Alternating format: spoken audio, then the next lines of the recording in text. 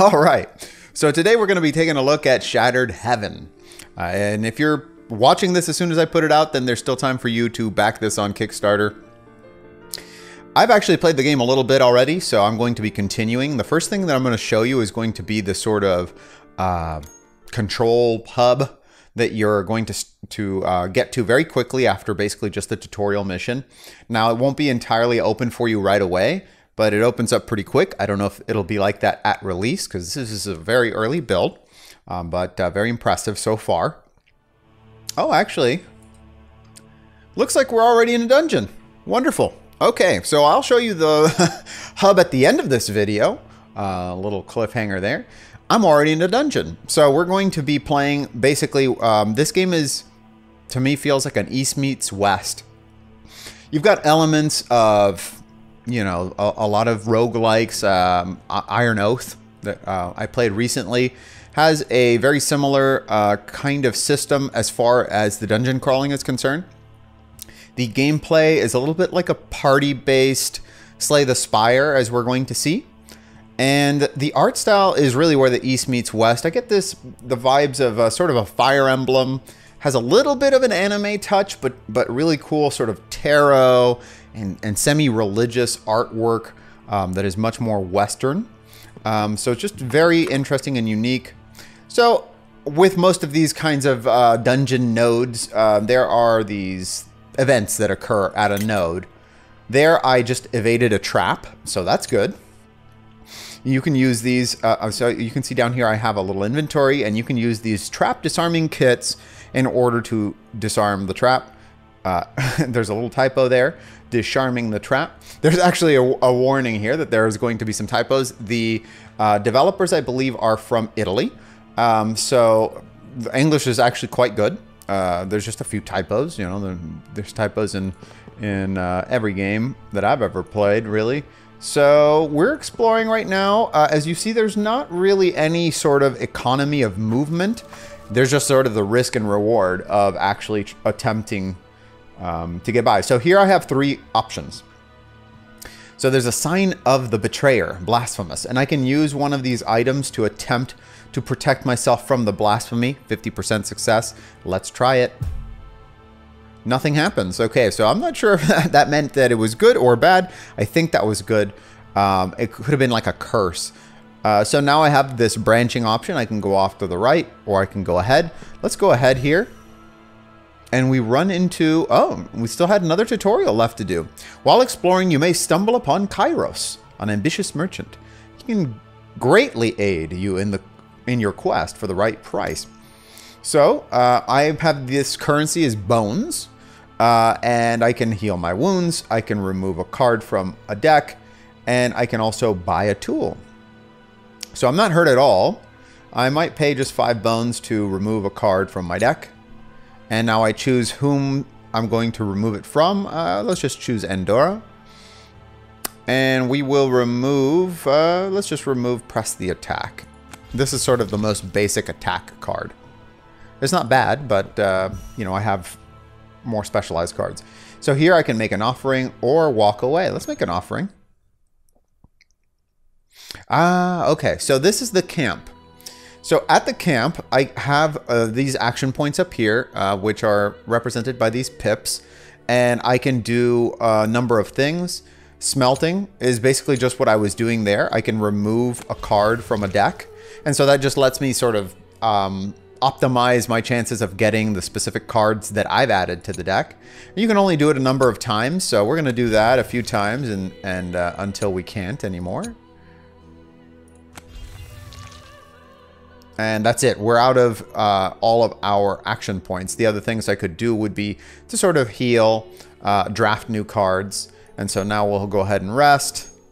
Would have been better to use that once I was hurt. Oh, here I'm getting a little bit of story. So the story is presented in this fashion, very classic RPG um, standard sort of fare where you have the um, story being told to you here in text and the characters come in. They have a little bit of animation. They have a few expressions. Um, they'll sometimes have a couple of, uh, you know, those sort of generic voice lines where they're like, huh? What? You know, that sort of thing. Um, and then they tell you the story down here. Um, so really, the story is more of an inter-character relationship and exposing like what the condition of the world is, which seems to be sort of like this way apocalyptic fantasy kind of world where they've the, the gods are dead and uh, you know you're not sure if we're in limbo or what's going on here. One thing that i, I noticed that i really love about uh, the backgrounds here is if you look closely um, and it might not come through if you're watching this video on like a small screen but the flowers back here they look like vaguely like skulls taste tastefully like skulls so there's also, yeah, there's also the option to skip there if you're the sort of person that just likes to get straight into the action. And there's this nice little, um, just kind of a, uh, a gu- not a guide really. I mean, there's the tutorials are here, but it's it's kind of like just a quest log uh, of all of the things that I've learned, um, all of the people that I've met. So there's a lot of story, a lot of content already, uh, even though this is just the um, alpha of the first chapter. Um, so it seems like there's going to be a very deep uh, sort of mythos behind it. The characters are very rich.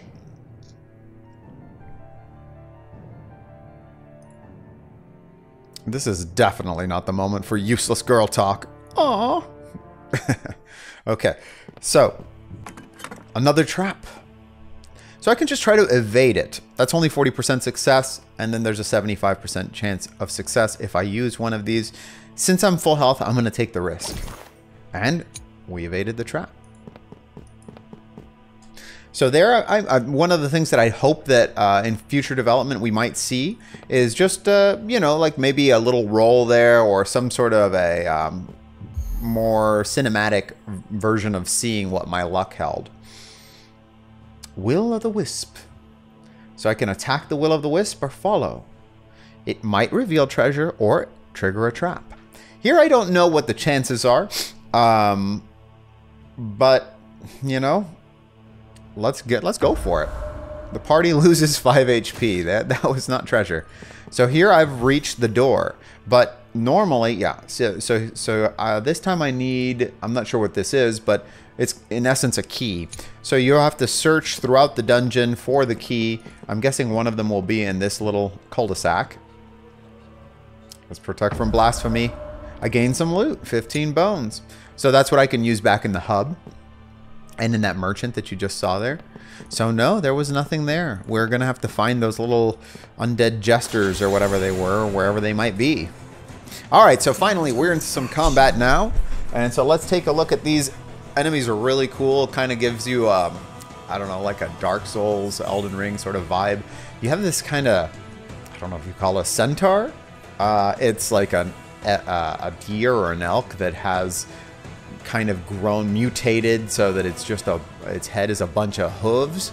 Um, and then you have these weeping women uh, the clamoris which are holding their own heads. That's very dark souls like all right so now we get into the actual game mechanics. And there's a few things that you have to kind of get familiarized with.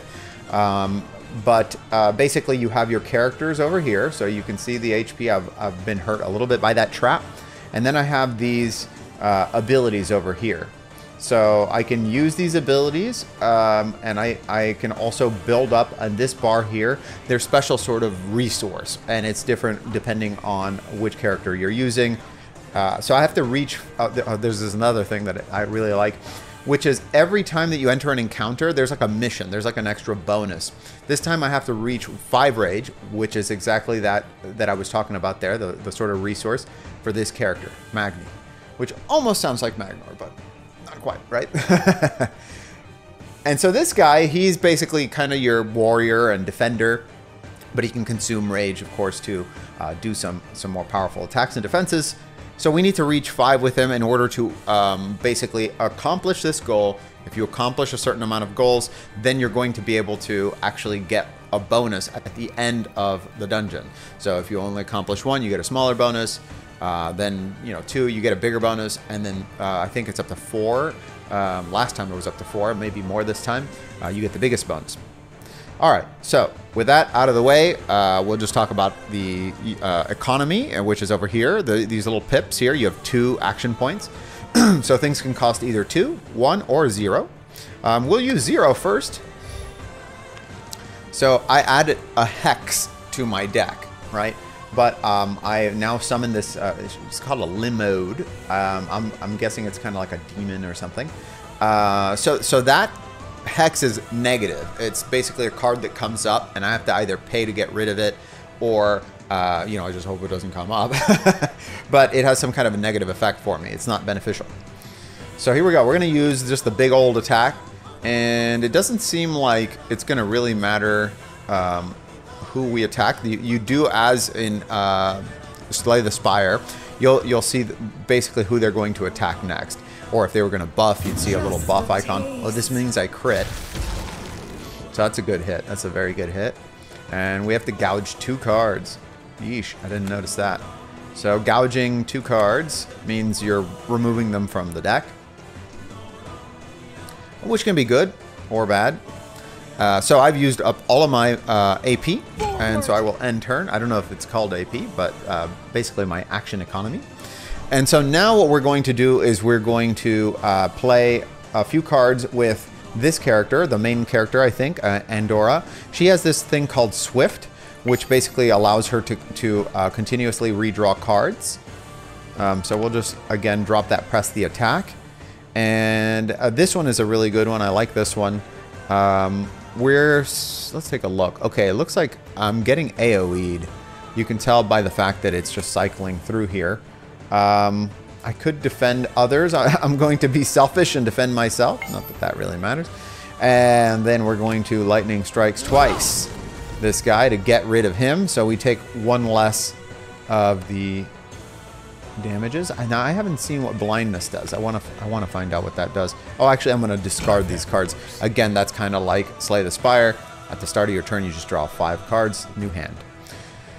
Okay, so now we're playing with our warrior, and the warrior can do um, basically. Oh, this is me right-clicking here. I uh, can do phalanx. Damage is reduced by 20%. I can add armor, which is just basically like uh, I think like temporary HPs. Uh, then you have Berserker that he can go. You know, it's got all sorts of stuff like Smash, deal four extra damage if the target has armor. I don't think that these do.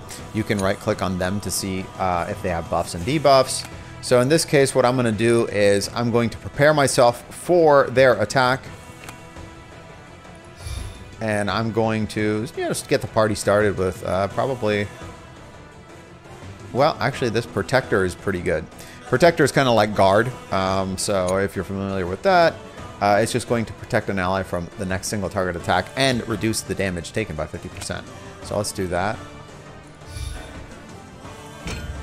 And now we are going to tank. And you can see the turn order up here is happening. The next one over is the next round. So when there's that space there, you can see how the round's going to play out. Something interesting about that is um, the turn order doesn't remain consistent. So I'm not exactly sure if that's due to speed or some kind of randomization. But there you have it. it you have to actually look ahead and, and think, okay, this person's going to go twice in a row, sometimes, etc., etc. Okay, so we've got Riposte. Riposte is really cool. As you might expect, it's just uh, attacking once uh, you've been attacked. Uh, now we are hurt, so the stand your ground is not bad in this case. Uh, let's let's do this. Um,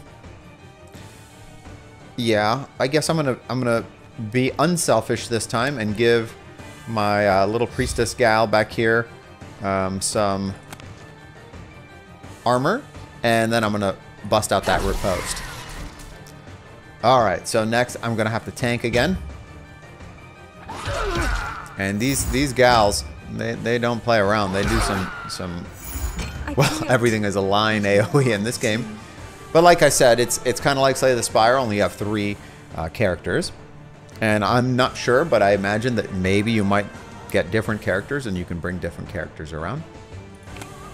So we'll start with Willingness to Sacrifice, get another Hex in on the deck. Um, but we are building up our resources. So we've already completed, as you can see up here, Magni has already had more than 5 Hatred. Um, so now we're looking at Merciless Whip. That one's a good one. And now this one, you can see, normally it deals 7 damage and bleeding. That's a dot. Uh, you gain one thirst. That's your special. When you have this limode uh, active, Then instead, it deals 6 damage to all enemies. So that's nice because, uh, well, I have two enemies to deal with. Consume the Thirst every time I do it, so the limode goes away. Uh, and so here now I can just use the Merciless Whip to bring my uh, Limode back. And so it's, it's kind of like shape-shifting, sort of. And this is an interesting mechanic. Merciful to you. Now we're looking at this. Amori Fatti. Create a random adaptive card, and it will cost zero AP this turn. I like that. Let's see what that is. All right. So, oh, nice. So we get True Purpose, gain Crusade, and uh, 4 armor. Let's see, what does Crusade do? Basic and neutral cards deal 2 more damage and give 2 more armor. I like that. Let's do that. Costs nothing once we've already paid it.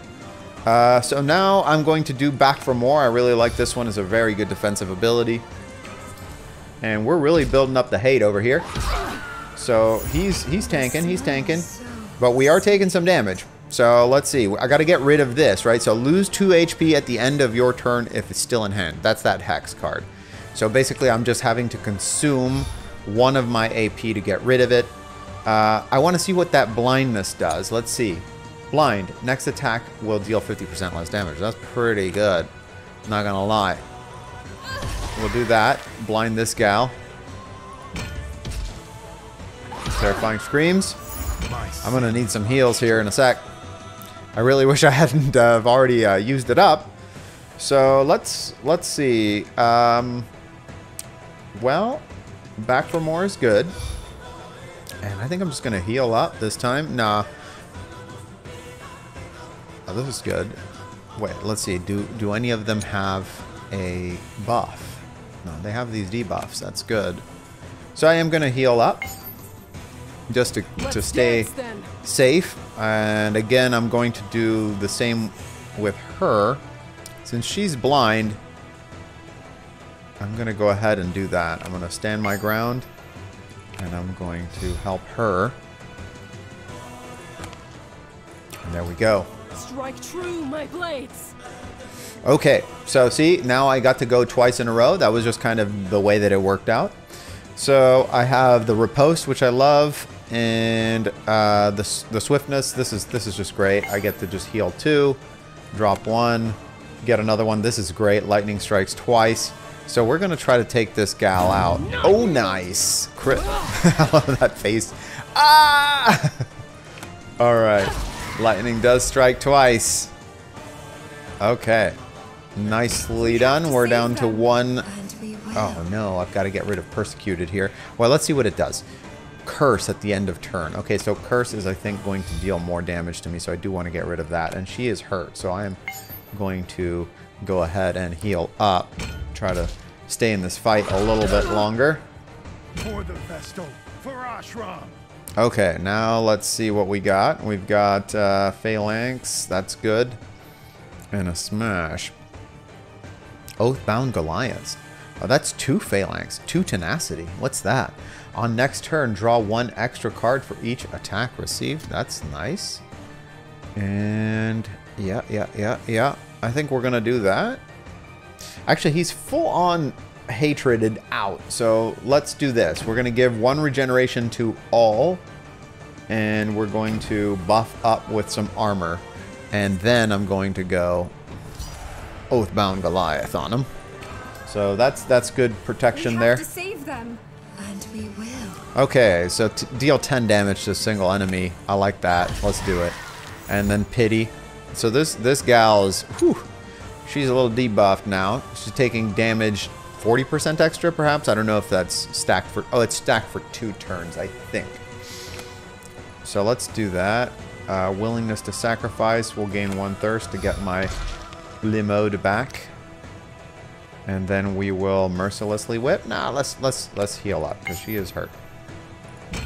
What? Scared to face Okay, now I got a bunch of beacons of hope and a couple of vor vor uh, vorpal strikes. Um, hmm. Let's just go one and one. Let's go one and one. And who's she attacking next? Everyone. Yeah, that's the problem with these. Let's go ahead and buff up. And swiftness. Oh, that's good. But uh, we're still Vorpal. We got to lay down the dips. Now, as you saw there, I kind of pushed her back. I'm not sure if that does anything or if it's just kind of uh, cosmetic. But uh, I did push her back. All right, what do we got here? Gain 4 armor and crusade. Let's do it. And then let's just start smashing. I mean, well, that's 8 minus 2. Let's just do a 7. So, so you see, press, a, press the attack can be useful. Not a useless card at all. Uh, and I get to go again with another Oathbound Goliath. That's my legendary card. You can tell there by the uh, sort of edging. You can also tell in the You're deck builder. dead. It's in its own category. Goddess of Thunder. So this would definitely finish him off. Uh, let's see if I can uh, instead heal up. Yeah, I can. Because I am hurt. So I'm going to drop that. And I'm going to do this. And then uh, this Goddess of thunder is Overwhelm. Uh, reduce the cost by one for each Swift. So you can do it for free if you Swift enough, basically. Uh, I don't think I have any more Swifts. Um, this is cool, but I'm going to hold on to that. So I'm just going to do this to finish her off. And that's a fight. So you see I have to do six of these achievements. You can see what they do down here. For two missions, you get this. Four, five, six. So definitely worth trying to do that. My loot is up here. Um, so again, you can, well, I, I haven't actually shown that yet, but you can actually make potions in this game. So you're getting reagents. And then we draft. So uh, we're looking at uh, what we can do here. Uh, let's let's give that to Andorra. We we just basically have to choose who gets what. Gain two armor and heal two. Let's give that to her. And yeah, that's good. All right, moving on now. Let's go down this. Okay, so I found a treasure chest, but you do have to find a key before you can open that treasure chest. And would you believe it? We got the key right next to the treasure chest. That is, I believe, rare because I've uh, played this before and that did not happen before. So I'm guessing there's a little bit of procedural uh, nature to these dungeons. Not entirely sure. But let me just hop out here for a second because I do want to show the uh, sort of hub, the central hub, um, because it's very interesting the way it's laid out. It's sort of your headquarters, and you have these little nodes that you can interact with, uh, sort of like a menu, uh, but it's nicely presented. Okay, so here we have it. Um, we can go up here. You've got quest instructions. You've got the Dark Forge um, that lets you kind of power up your characters with things that you earn inside of the runs. There's this sort of dark bone currency down there. Uh, and over here we have the merchant stall where you can buy components and consumables.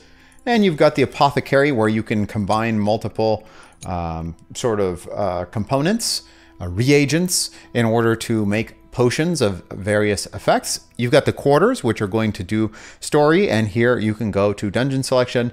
And in the middle, we have uh, the Great Altar, where you can customize your deck. Your deck is here on the right, and the cards that you can equip are here on the left. I haven't really gotten that many cards yet. I've just started, so I don't really have any uh, deck to make just yet. Um, but that's the way that it works. As you can see, um, just everything is very nicely presented.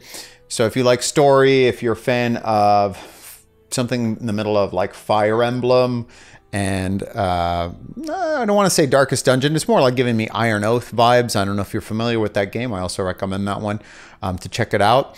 Uh, and of course, Slay the Spire like uh, kind of deck builder where you're just constantly drawing uh, more cards and you have a limited amount of resources and you're trying to put them together. Um, it's it's a really solid game for being a pre-demo, pre-alpha over here.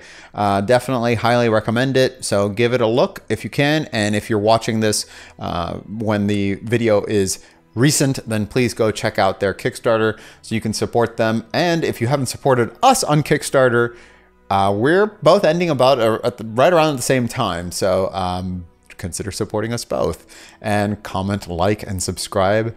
And thank you very much.